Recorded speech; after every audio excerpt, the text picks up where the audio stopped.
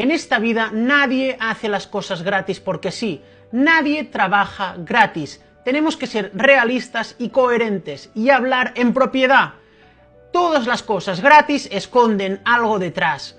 Y esto ocurre mucho en la materia que a mí me ataña, que es extranjería.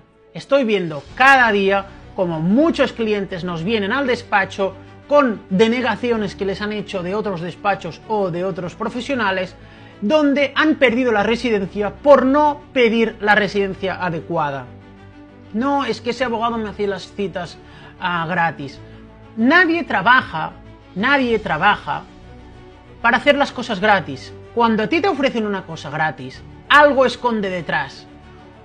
Puede ser que esto de gratis después te peguen el palo en el trámite, ¿de acuerdo? Te cogen, te captan como cliente con la palabra gratis y después te pegan el palo en el trámite. A lo mejor te hacen ofertas temporales, te captan como cliente y después te pegan el palo otra vez. Por tanto, tenemos que ser coherentes, tenemos que ser realistas y hablar con sentido común. Nadie hace nada gratis en esta vida, ni tú, ni yo, ni nadie. Todos trabajamos para sacar adelante nuestras familias y sacar adelante nuestras vidas. Partiendo de esta base, todo lo que sea gratis, huimos de eso. Tenemos que huir. ¿Por qué? Porque todo lo que es gratis sabemos que esconde algo detrás.